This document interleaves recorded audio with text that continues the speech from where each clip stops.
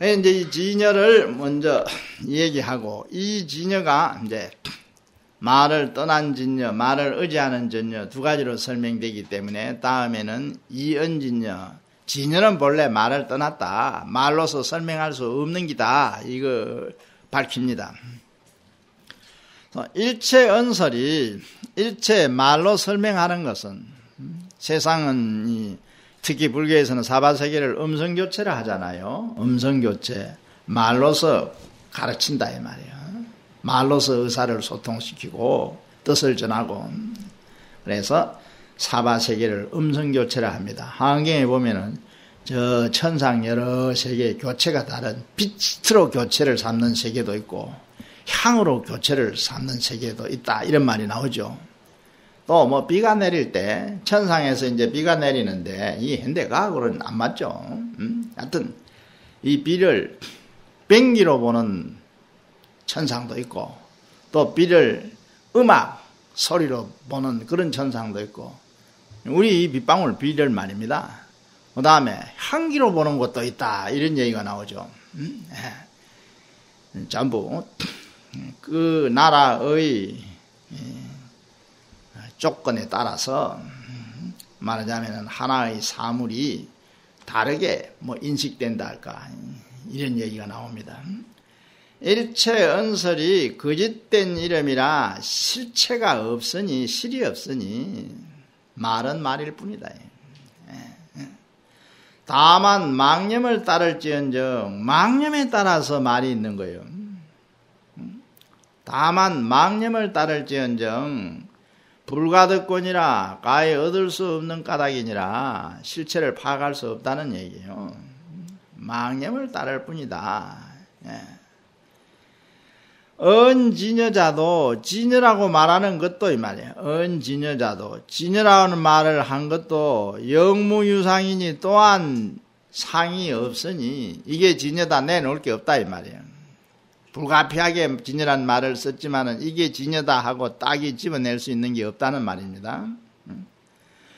이 언설지 극으로 이르되 말하자면은 언설의 극이라면 말로 불가피하게 말로서 나타날 수 있는 어떤 극한적인 상황에 이르러서 이런 뜻이죠.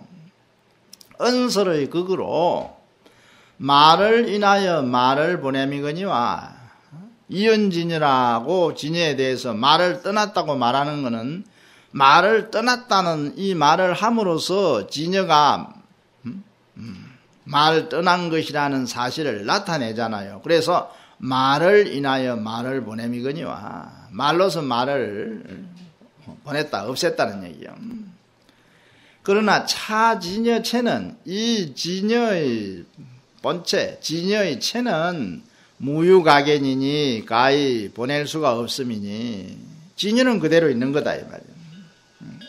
왜 진여를 못 보내느냐? 다음에는 그 이유를 이렇게 밝힙니다. 그래서 일체 법이 이 세상 모든 것이 말이에요. 일체 법이 모두 다 진인 연고며 다 진여할 때 앞글자 진이다. 진인 연고며 또한 가히 세울 수 없으니 특별히 세울 수가 없어. 이 진여를 어떤 특별한 자리에 응? 놔놓을 수가 없다 이 말이에요. 세울 수가 없다 이 말이에요. 그래서 일체법이 모두 한 가지로 여인연권이라 일체법이 모두 똑같이 진여할 때 뒷글자 여인연권이라 여여하다 할 때 다 한 가지로 여인연권이라 이연진여를 설명하면서 이렇게 말했습니다. 마땅히 알라 당기하라 일체 법이 법 자체 불가설 불가념일세 일체 법이 말할 수 없고 생각할 수 없는 것일세. 가히 말할 수 없고 가히 생각할 수 없다. 그러므로 고로 이름하여 진여라 하나니라. 그러므로 그냥 진여 참되고 한결같다는 뜻의 말 진여라 하나니라. 진여라는 것은 말로서 설명할 수 없다. 진여. 진리의 당체니까 진여가 진리 당체 곧 진여가 이제 이게 각이죠 곧 깨달음 이걸 이제 정부에서 말할 때는 불성이라 말하고 어부에서 말할 때는 법성이라 말합니다. 그의 뭐 여러 가지 경전에 따라서 이 진열을 하원경에서는 아까 말한 일진법계라 하고 원각경에서는 그냥 원각이라 하고 어, 건강경에서는 이걸 그냥 반야라 하고 능경에서는 우리 이력 과목 갖고 말할 때는 열애장 묘진여성이라 하고 뭐 그렇죠. 어. 법화경에서는 이게 일성이죠. 이게 일성. 어. 열반경 같은 데서는 이걸 한 성품 일성이라 하고 열반경 대의가 어, 어진상 현 일성이거든요. 진상을 의지해서 한성을 나타내는 거, 불성. 그게 진예예요. 진여라는 것은 말로서 설명할 수 없다. 그것은 비유하면 뭐 이건 교재하고 하기 때문에 뭐 여러분들이 기실로 내용을 대충 본 분들은 알고 있겠지만은 그래도 뭐 복습하는 뜻에서 한 번 더 읽는 것도 좋으니까 뭐이 해설한 것도 간단히 읽어 넘어가기로 합니다. 그것은 음식의 맛을 아무리 말로 설명하여도 음? 말 자체가 마실 수 없는 것과 같은 이치다. 음식은 해로 직접 맛봐야 되는 거잖아요. 달다 쓰다 설명을 듣고 맛을 알 수 있는 건 아니거든요.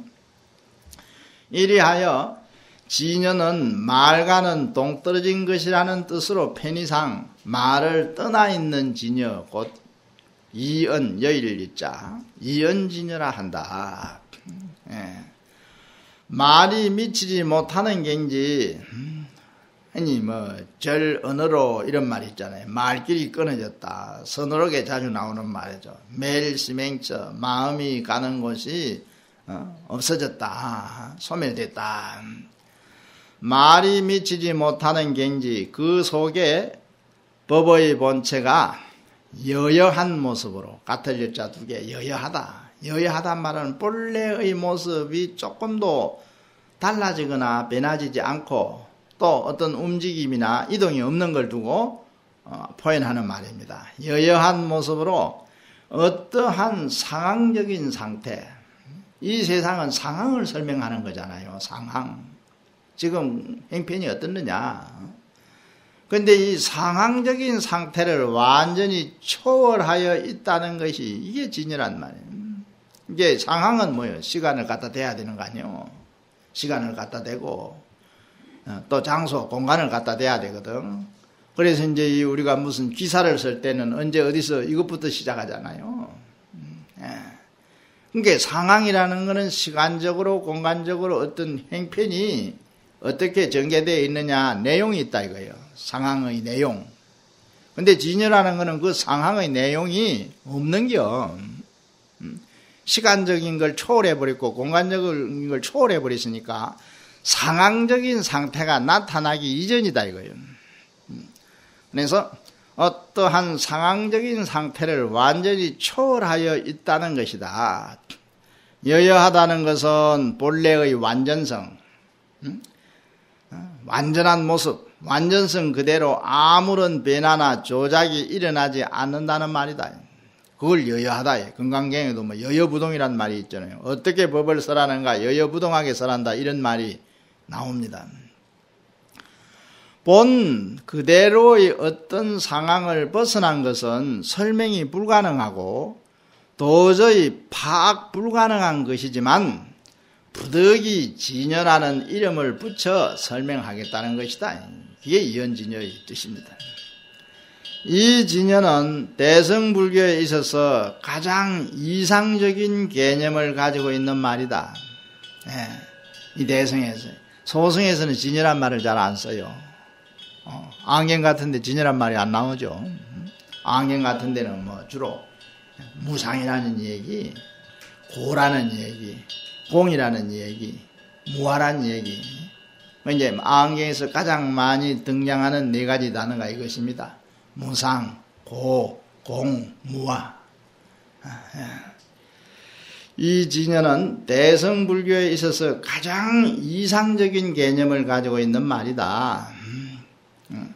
범어, 타타타. 이게 원래 열애인데, 열애 시포에 제일 먼저 열애가 있잖아요. 타타가, 타타가가 빠졌죠. 음, 그게. 범어, 타타타를 번역한 말로 우주 만유의 두루 미쳐 있는 상주 불변하는 항상 그대로 있으면서 변하지 아니하는 상주 불변하는 본체를 말하는 것인데 이건 사유의 세계를 넘어서 있어 우리 인간의 생각으로 못 미치는 세계 사유의 세계를 넘어서 있어 사상 개념으로 파악되지 않는 것이다. 불교를 이제 학문적으로 혹은 학술적인 같은 말이죠. 그럴 때는 무슨 사상이다, 뭐 하음 사상이다, 법화 사상이다. 경전을 가지고도 법화 사상은 주로 뭐 천태 사상이라 이렇게 말하기도 하고요. 그런데 각 자체는 사상이 아닙니다. 불교의 깨달음 자체는 사상이 아니에요. 어떤 개념을 초월했기 때문에 예, 그렇게 말할 수 있습니다. 이 진열을 달리 표현하는 여러 가지 용어들이 있는데 불성이라 할 때는 중생의 본성 자리를 두고 하는 말이고 법성이라 할 때는 사물이 존재하게 된 본성을 두고 하는 말이 된다. 다시 말해 진열을 중생 쪽 정보 혹은 근신이라고도 하죠. 혹은 근신에서는 불성이라 하고 사물의 쪽 의보 기계라고도 합니다. 에서는 법성이라 한다. 그렇다면 중생들이 어떻게 해야 진여에 들어갈 수 있는가? 만약 일체법이 비록 말로서 설명하지만 설명될 수 없는 것이 있으며 생각하여도 생각되어지지 않는 것이 있는 줄 알면 진여에 따르는 것이며 망령된 생각이 떠나가면은 들어가게 된다고 할 수 있다. 이게 다음 말을 번역한 건데요. 예. 예, 그걸 문할 물어 가로되 질문을 하겠다 이 말이야. 묻노라 뭐 이렇게 포인해도 돼요. 만약 이와 같은 뜻일진데 진여가 말을 여인 것이라면 이 말이에요. 모든 중생들이 여러 중생들이 죄 중생 등이 어떻게 수순하야사 어떻게 따라야사 수순은 따른다. 능이 들어가는 곳 능이 진여에 들어갈 수 있느냐 들어감을 얻는다 이 말이 뭐 들어가는 거 음. 답에 가로되 만약에 일체법이 비록 말하나 능설 가설이 없으며 능이 설하고 가에 설해질 것 능소관계로 말하는 겁니다. 설할 자와 설해질 대상이 없다는 거죠. 능설 가설이 없으며 비록 생각하나 여기도 마찬가지. 능력가념이 없는 줄을 알면은 예, 진여가 일체 모든 것을 뭐 초월했다 할까? 그 이치를 알면은 이 말이에요. 능설가설 능력가념 뒤에 가짜는 설한다 능설은 능이 설하는 사람. 그러면 가설은 설해지는 거 그 얘기 되어지는 대상이죠. 뒤에 말도 같은 말 이런 걸 능소관계라 말하죠. 능소. 이것이 이름이 수순이며 만약에 염을 여이면은 망염을 여이면은 이름이 들물 얻음이 된다. 들어감이 된다. 망염을. 그래서 선에도 육교단경 같은 게 뭐니까 무념 아닙니까? 무념을 종기로 삼았잖아요. 음. 가나하는 게 뭐? 무념하기 위해서 무념이 되기 위해서 하도 드는 거잖아요. 네. 그래서 불교 이 대성 수행에 있어서는 이 무념의 경지가 진여에 들어간 경지다. 이렇게 이제 이 기시론에서는 분명히 그걸 밝혀가지고 이제 말해 놓은 거죠. 말을 여인 진여에 깨달아 들어가려면은 말을 여의고 생각을 여인 경지를 체험해야 된다는 것이다. 여기에서 이제 얻는 게 직관, 직관이에요. 상대적으로 설명이 가능한 상황적인 것은 생각이 일어나서 만드는 거예요. 생각을 가지고 다. 불교는 이 생각을, 이걸 말하자면 여해야 된다. 그래야 도에 들어간다. 이렇게 말하거든요. 이제 서양 철학에서는 파스칼 17세기죠. 어, 인간은 생각하는 갈대다. 데카르트 같은 사람은 나는 생각한다. 고로 나는 존재한다. 사실 존재하는 것은 생각이 일어나기 때문에 존재한 기거든요. 생각이 일어나면은 생사가 있는 기고 생각이 안 일어나면 생사가 없는 거라 어록에 그렇게 나와요. 연기 연멸이 즉 생산이라 이런 말 나오거든요. 생각이 일어나고 생각이 멸하는 이것이 나고 죽는 생사 운명이다 이 말이요. 음, 네. 그래서 이제 불교 특히 동양 사상에서는 생각 이전으로 돌아가라 이거예요. 서양에서는 그게 아니요. 생각하는 이 자체에서 현상을 어떻게 인식할 것인가. 이걸 이제 어떤 뭐 연구 대상이랄까 어, 목표로 했다 이렇게 말할 수 있습니다. 네. 그러나 이 진여의 세계는 의식의 생각이 떠나 있는 곳이므로 의식의 망념이 사라질 때 진여에 들어갈 수 있다는 것이다. 그래서 이제 선도 결국 의식 중지 아닙니까? 판단 중지. 선할 때 선 사유수가 뭐냐? 선나. 이게 판단 중지예요. 생각이 멈춰야 된다는 이 얘기예요. 그래서 지문 같은 데도 우리 강은에 처음 치문과에 이제 배우는 주 과목이 치문 아닙니까? 식신명을 제일 강조하거든요. 마음을 쉬라, 쉬라. 쉬야 돼. 푹 쉬봐야 되거든. 근데 요새 이 시대가 못 쉬는 시대거든. 쉬면 내가 남한테 뒤진다 생각하잖아요. 쉬모. 쉬모 내가 떨어져 버린다. 내가 강원에 있는데 서울대학을 나갔다는 확인 하나가 왔어요. 치문반에 공부를 합디다. 나는 이제 그래도 뭐, 뭐, 꼭 뭐 인류대학에 능사는 아니지만은 서대학 정도 나왔으니 공부를 잘하려나, 이렇게 했어요.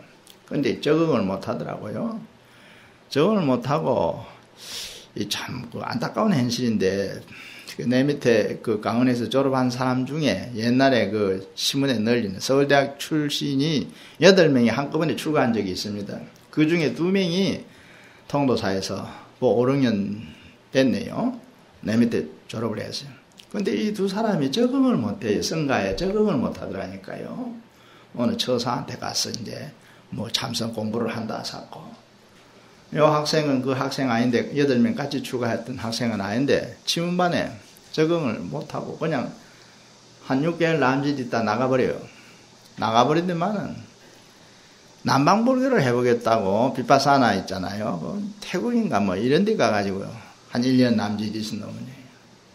네. 그래. 그러니까 뭐 올해도 안 있고 한 1년 남짓, 1년 몇 개월 있다가 왔어요. 와가지고 이제 자기 주장이 하나 생겼어요. 비파사나를 해야 된다. 비파사나. 이 한국에서 전통적으로 해온 이 가나선 이거는 힘들어 못한다. 가나선 해가지고 이 성취하기가 어렵다.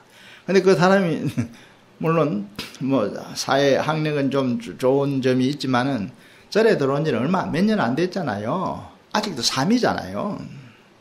그런데 뭐 울산에다 비파사나 맹상센터를 하나 세운다고 막 소문이 났더라고요. 그래서 내가 좀, 좀 못마땅해서 옆에 하긴 드는데, 허허 참, 삭도 문이 안 마른 사람이 벌써 뭐 하겠다고 설치. 마음을 푹 쉬놓고 시작해야 되는데, 쉬지 못한 마음 가지고 시작해봐야 성공 못한다. 그렇거든. 쉬지 못한 마음 가지고 얼떡이리 봐야 성공 못해요. 그래 조금 있다 문 닫아버렸어. 지금 뭐 한 뭐 절에 온 지 뭐채한 뭐 3년 될까 말까 한 뒤에 뭐 무슨 비파사나 맹상센터 생겨가지고 그 누가 뭐그 지보고 공부하러 지도받으러 올 사람이 뭐 많겠느냐 이 말이요. 이 중요한 말이요. 한 생각 푹 쉬놓고 시작해야지 못 쉬고 헐떡거리고 설칠 때는 얼마 뭔가요. 그냥 미천 다 드러난다 이 말이요. 참고하시오. 네, 그런 게 있어요. 다음에 이언진여 네. 어언진여 의지할 의자 그 다음에 이제 말을 의지해서 진여를 설명하니까 어언진여라 합니다 다시 또 이 말에 부차는 또 해도 되고 다시 해도 돼 진여라는 것은 진여란 어 언설 분별하면 언설을 의지해 분별하면 말을 의지해서 분별한단 말이 설명하자면 이런 뜻이에요. 여기서는 말을 의지해 분별하면 설명하자면 말이에요. 두 가지 뜻이 있으니 두 가지 뜻이 있다. 진여가 가지고 있는 두 가지 뜻을 설명하는데 이게 이제 말을 의지한 진여라고 앞에 의은을 붙여놓고 설명합니다. 어떤 것이 둘이 되는가?